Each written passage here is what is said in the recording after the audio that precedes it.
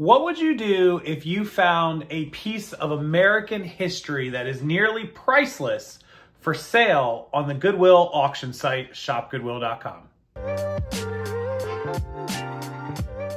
Well, today's story is a feel-good story out of, that's right, the Goodwill store. Actually, their online website, shopgoodwill.com. If you've never heard of it, go visit it. I'll link it down below. I have only purchased one thing off of it personally. I made a few bucks on it. Never really spent the time, never had the time. I know a lot of you that watch this channel do use it to source items right from the comfort of your own office. You can just right on there, shop for it, and find cool stuff. Well, this story is about one of the most historical figures in our country, none other than the first president himself, George Washington, our first president. That's right. His item a piece of his tent from during the Revolutionary War was actually found on shopgoodwill.com and it's authentic. Wait till you see this story. Let me take you over to it and check it out. This is our feel-good story of the week because things like this do still happen. It's like the old Declaration of Independence copy that's found behind the artwork. Well, this is one of those things. What would you do if you found this? Check it out. All right, so this story, pretty interesting, pretty cool. I'm a history nerd for anybody who doesn't uh, watch this channel regularly or doesn't know me. I'm super, super history buff.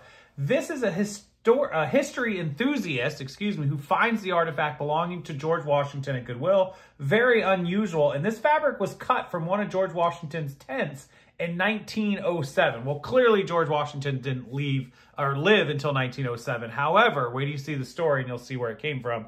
You'll follow me on this. Stay with me here.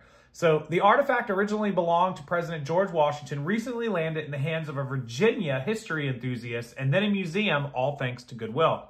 The piece is currently on display in the Museum of American Revolution in Philadelphia. Collector Richard Dana Moore stumbled across the artifact, which is a six-inch long piece of linen fabric from Washington's dining marquee or tent on Goodwill's auction site. That is shopgoodwill.com. Again, I'll link it down below. This is not a paid endorsement by Goodwill. They don't pay me. I'm just telling the story. The fabric was auctioned off with a note that read a piece of George Washington's tent from the History Building at Jamestown Exposition 1907, property of John Burns, December 23rd, 1907. So this was part of a, a display, some kind of show. The guy owned it, and somehow it ended up uh, at Goodwill. Probably never know how that happened, right? We never know how any of this cool stuff ever ends up at Goodwill. How do these Declaration of Independence end up in the back of artwork? How do these crazy 3,000 year old Ming Dynasty uh, vases end up in Salvation Army? How does this happen? Somebody tell me. While most of Moore's collection is made up of Civil War artifacts, he also accumulated pieces from the American Revolution and the War of 1812 over the years through metal detecting. During an interview with Fox News Digital, the history buff said that he thought the piece couldn't be real at first. And then they show a picture, him and his wife here, and then uh, the piece of fabric, which you can see, it's just six inches, not very big, and it's got this red outline there. People are going to make uh, some jokes. I already know, uh, see it, hear it coming from that uh, little piece I just said there. leave it alone, y'all. Leave it alone. When he zoomed in, the fabric looked authentically old, he explained. The brief handwritten note uh, referencing the Jamestown Exposition of 1907, which was attached with a rusty pen, added to the feeling of the age. My gut kept telling me this could be real. Feeling that the piece was special, Moore bought the fabric on the auction site for $1,300. So he definitely took a gamble, right? Like this was a $1,300 gamble. If this was fake, this was inauthentic, uh, it's worth the paper it's printed on, right? Moore explained that after buying the piece, he felt overwhelmed about being responsible for such an important artifact of history. He waited to tell his wife, Susan Bowen, about the purchase, which she was initially skeptical about. I would have been too. I'm skeptical anything's real, especially when it just shows up at Goodwill. I assumed it couldn't be real until over a year later when we watched an online presentation from the Museum of the American Revolution, Bowen explained to Fox News Digital. That's what prompted us to reach out to them. So they actually reached out to the museum. Good on them for doing that. Matthew Skic, don't reach out to a dealer. They'll tell you it's fake and buy it for five bucks and then they'll make all the money. Matthew Skic is the curator at the museum and he told Fox News Digital that the fabric was cut as a souvenir while the marquee was on display in 1907. As the note confirms, the canopy made an, uh, an appearance at the Jamestown Exposition of that year. So pretty cool, about 100 and some odd years, 130, 140 years later, um, the piece is on display and somebody somehow cut a piece of it off. So Don't know if that was allowed or if they stole it or cut it illegally or somebody that owned it gave them a piece of it and cut it off. Don't know.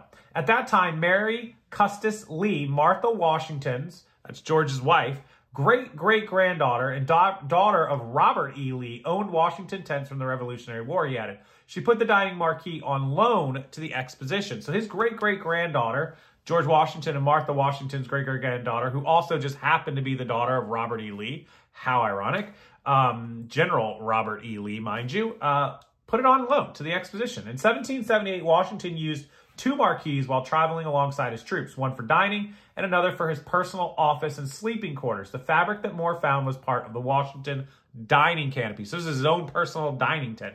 Pretty cool, I guess, when you're the president, you, uh, you certainly get some perks of the job, right? Skic certified the authenticity of the fabric after examining the piece. So the guy must be a pretty good expert, right? Artifact came with a note referencing the 1907 exposition. If I had bought it, I would have immediately looked up that exposition. I would have got that history on it and uh, would have been pretty confident in buying it at that point.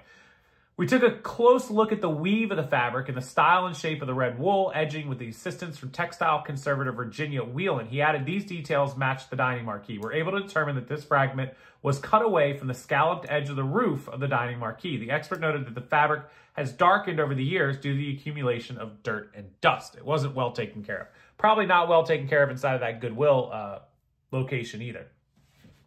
The red wool binding on the edge is faded a bit, but it retains most of its color. He added the, uh, where does it say? Whoop, whoop, whoop, the fragment's edges are frayed from being cut away from the marquee. Skic added that finding artifacts such as this is very unusual, especially through a Goodwill online auction. You ain't kidding.